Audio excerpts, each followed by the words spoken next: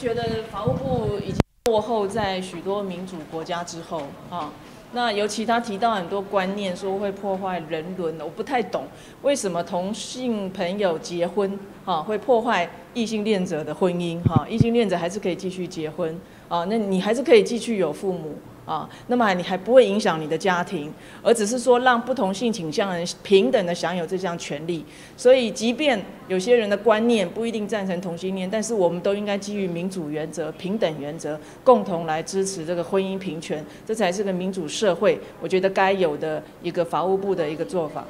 呃，事实上，就说在今年的十月，我们召开第二次的一个公听会。那其实，在九月十九号的时候，行政院性别平等处，那他们对针对就是《CEDAW 公约》就消除对妇女却刑事歧视的公约，曾经召开做会议。那里面呢，就已经有发文给法务部，要求他们针对这所谓的同志婚姻，就婚姻平权的这一块呢，他们必须要去提出就是研究，然后同时要提出那些相对的一个法案出来。但是法务部从九五月到今天。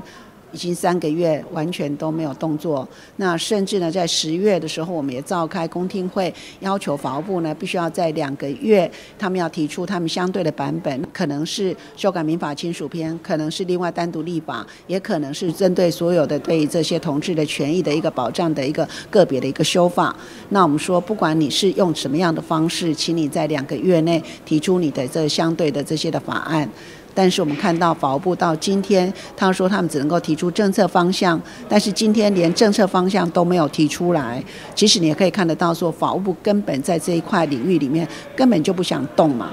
所以在这样的一个啊国家，就说法务部代表国家，而且还是我们的人权委员会啊，就说人权的一个主导的机关，是这样的一个态度。说实在的，对于我们这同志婚姻的这样的一个平权的一个法案的一个修正，其实是。蛮悲观的，但是不管怎么样，我想我们还是会在立法院那再继续呢，就是啊找机会呢。如果说可以的话，我们会再继续的努力。那当然，我想我们也看到很多的委员，那其实他们都建构在一些错误的一个讯息上面。那其实呢，就是对于这个同啊互加盟他们所提供的这些的错误讯息，包括说，如果这个同志婚姻合法化之后，就会破坏一夫一妻制度，就会人受交，然后呢就会这。怎么侵害到整个破坏整个一个人伦？那这些都是完全错误的讯息。我们希望是说，大家对同志的婚姻到底要不要立法？那这个应该怎么样立法？大家都可以讨论，但是不能够用一些就说